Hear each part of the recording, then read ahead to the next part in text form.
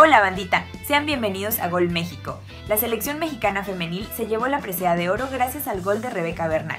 México se sube a lo más alto del podio en los Juegos Panamericanos 2023. Hasta la prensa centroamericana se quedó admirada de esto. México ganó 1-0 a Chile y se quedó con la medalla de oro del fútbol femenino en los Juegos Panamericanos Santiago 2023. La final se disputó en el estadio Elías Figueroa. El cuadro mexicano se impuso en el cotejo definitorio gracias a un golazo de Rebeca Bernal.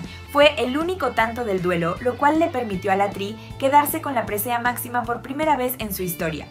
México ganó 1-0 a Chile y se quedó con la medalla de oro del fútbol femenino en los Juegos Panamericanos Santiago 2023.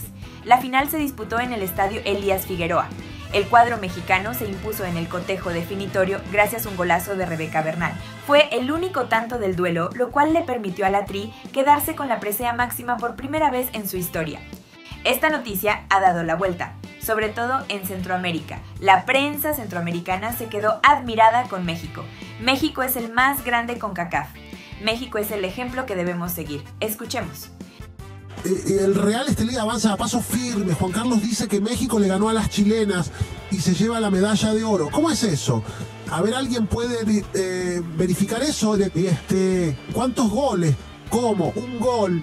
Ay, mamita, México se va a Sudamérica y le gana a las sudamericanas. dice, a nosotros nos eliminan en primera ronda. No cabe duda que el fútbol mexicano eh, sin duda está en otro nivel, que al menos hicieron quedar bien a la CONCACAF. Bueno, sigamos. ¿El Real Estelí ahora? Bueno, mis chavos, me alegra mucho lo que ha logrado nuestra tricolor. Después de más de 29 años, México se consagra como campeona panamericana. Bueno, chavos, dejen aquí abajo sus comentarios todo el fútbol mexicano aquí en Gol México.